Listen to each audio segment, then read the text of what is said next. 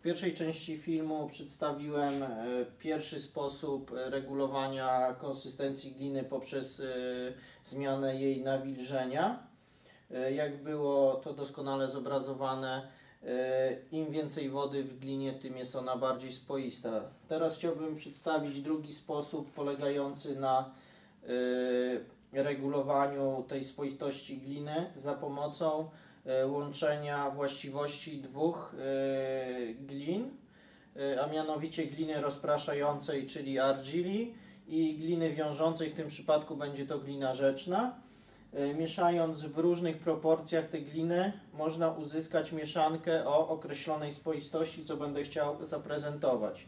E, Przygotuję trzy kule, e, jedna o różnym stężeniu gliny rozpraszającej. Pierwsza będzie o stężeniu 100%, czyli będzie to czysta glina argile. Druga będzie o stężeniu e, 60% argili, czyli to będą dwie porcje argili i jedna gliny rzecznej. I trzecia konsystencja, w której będzie tylko 30% argili, a reszta to będzie glina rzeczna. I zobaczymy, jak to będzie wyglądało e, w akwarium. Więc zaczniemy od przygotowania e, pierwszej kulki z gliny rozpraszającej.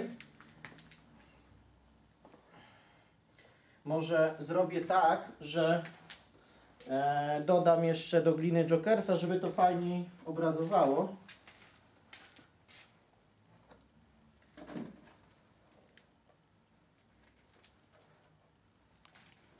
Damy troszeczkę Jokersa.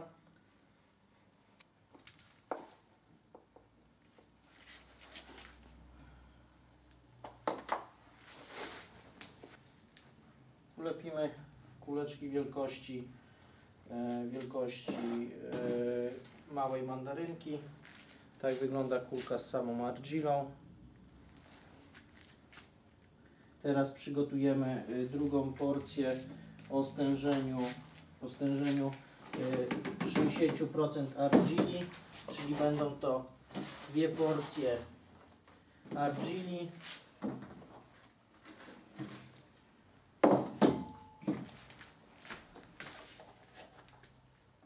Jak widać tutaj będą dwie porcje argili, jedna porcja gliny rzecznej i troszeczkę jokersa.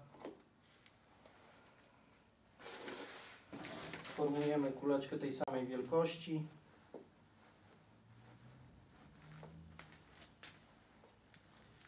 Tak wygląda. Wizualnie wygląda to praktycznie tak samo. Zobaczymy jak w wodzie to będzie się prezentowało. Teraz przygotujemy trzecią konsystencję, w skład której będą wchodziły dwie porcje gliny rzecznej.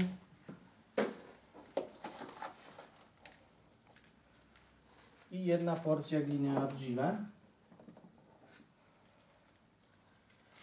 I do tego dodamy troszeczkę jokersa.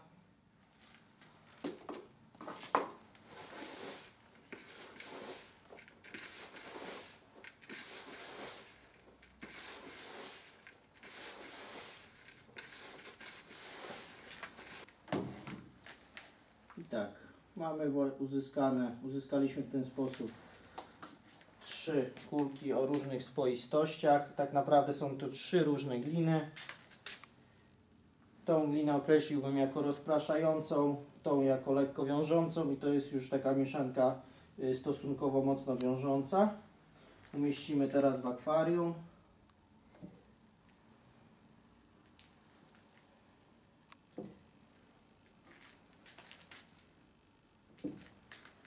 I zobaczymy teraz, jak to się będzie zachowywało. Pierwszy wniosek, który się nasuwa oglądając to, co dzieje się w akwarium, to taki, że glina argile to będzie zaraz dużo bardziej widać wzburza y, dość duży obłok. I zobaczymy, jak, jak to będzie wyglądało za około 5 minut. Potem po 15 minutach sprawdzimy, jak to wygląda i po około y, powiedzmy 30 minut.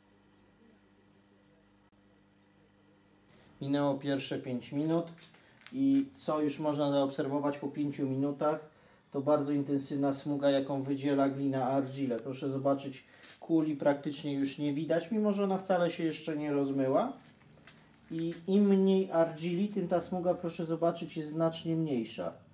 Y, Oczywiście widać też y, różnicę w szybkości się y, rozmywania kul, przy czym nie, nie jest ona jeszcze tak wyraźna ze względu na krótki okres czasu, jaki do tej pory upłynął, czyli te 5 minut.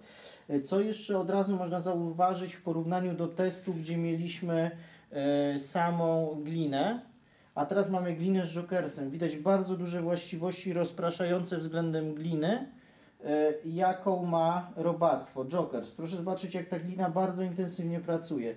Gdyby nie było Jokersa, ona rozmywałaby się znacznie wolniej. Także e, należy, przygotowując zanętę, należy pamiętać o rozpraszających właściwościach robactwa.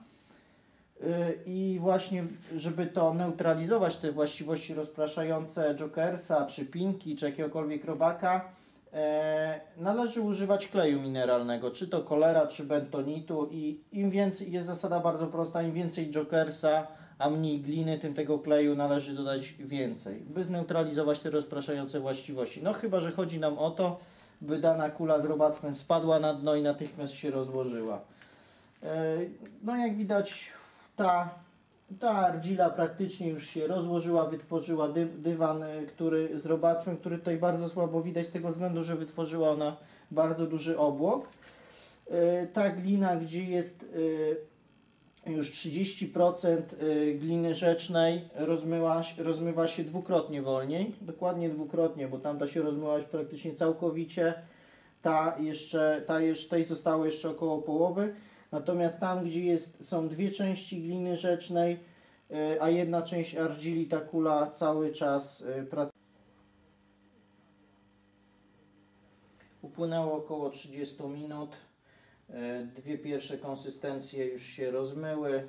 Pierwsza po powiedzmy 5 minutach, czyli bardzo szybko się rozłożyła, uwolniła Jokersa. Druga konsystencja rozmyła się po 20 minutach, czyli 30% y, gliny rzecznej opóźniło nam rozmycie kuli o około y, 15 minut. No i tutaj, gdzie gliny rzecznej było dwukrotnie więcej jak argili, to ta kula jeszcze y, stoi i bardzo powoli się rozmywa. Myślę, że po około 50 minutach do godziny ona także się rozłoży. Y, Wniosek, jaki się tutaj od razu nasuwa, obserwując całość tego akwarium, to jest taki, y, że glina argile ma bardzo duże właściwości smużące, zmętniające wodę. Y, Po, nawet w odniesieniu do poprzedniego filmu widać, jaka y, w przypadku gliny rzecznej woda była bardzo klarowna. Natomiast dodatek niewielkiej ilości argili tą wodę nam, nawet już tutaj, mimo że jej niewiele, to całkowicie zmącił nam wodę. Dlatego tak y, często podkreśla się o zdolnościach y, smużących y, glin rozpraszających. No i tutaj to doskonale widać. Podsumowując już, wyraźnie widać, to doświadczenie pokazało, że mieszając gliny o odmiennych zupełnie właściwościach możemy uzyskać e, mieszankę o określonej konsystencji, która e, w której, w przypadku której możemy z bardzo dużą dokładnością określić e, czas jej rozkładu na dnie. I w ten sposób znając warunki w łowisku i warunki danego łowiska oraz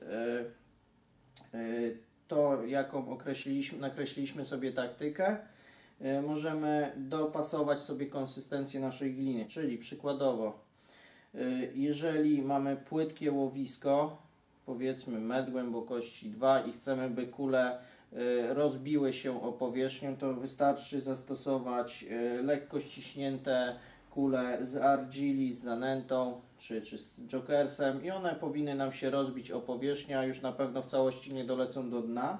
Jeżeli chcemy, by w płytkim łowisku doleciały do dna, wystarczy tą glinę tylko mocniej ścisnąć, mocniej przydusić i ona powinna w dużym procencie w postaci kuli dolecieć do dna. I tam, jak widać, od 5 do 10 minut ulegnie ona całkowitemu e, rozmyciu. E, Jeżeli damy już e, 30% gliny wiążącej, e, ten czas rozmycia będzie e, trzykrotnie wolniejszy. Przy czym może nie to jest bardziej istotne, w jakim czasie to się rozmyje, a to, że w ogóle doleci nam w całości, czyli już ta niewielka ilość wiążącej gliny zagwa- zagwarantuje to, że uformowana przez nas kula z robactwem y, ma większe szanse w całości dolecieć do dna i dopiero tam się rozłożyć. I to potrwa około powiedzmy 15 minut, w zależności od siły ściśnięcia kuli, do 20 i jej wielkości. No i tutaj e, w przypadku, e, gdy zastosujemy e, glinę, której skład, w której składzie przeważa glina wiążąca, w stosunku na przykład 2 do 1 do gliny rozpraszającej, to taka glina na dnie już zdecydowanie dłużej zalega, stopniowo się rozmywa i co jest jeszcze ważne, łącząc informacje przedstawione w pierwszej części filmu i w tej części, e, można te poszczególne gliny regulować właśnie konsystencję, regulować ich konsystencję poprzez nawilżenie. Czyli w przypadku na przykład tej pierwszej e, proporcji, y, to nie była proporcja, bo to była porcja 100% gliny argile, czyli w tym przypadku dowilżając dodatkowo tą argilę zwiększamy delikatnie właściwości wiążące i umożliwiamy to, że ona jest większe prawdopodobieństwo, że w całości dotrze do dna. W przypadku tej drugiej konsystencji, dowilżając ją jeszcze, tą glinę, spowodujemy to, że ona jeszcze o te 30% wolniej będzie się rozmywała, a w przypadku, gdy tej gliny rzecznej jest dość dużo y, w stosunku do gliny rozpraszającej, y, wyraźne jej dowilżenie spowoduje to, że nie będzie ona stała tak jak tutaj około 40-50 minut, tylko na przykład około półtorej godziny, co też jest bardzo istotne.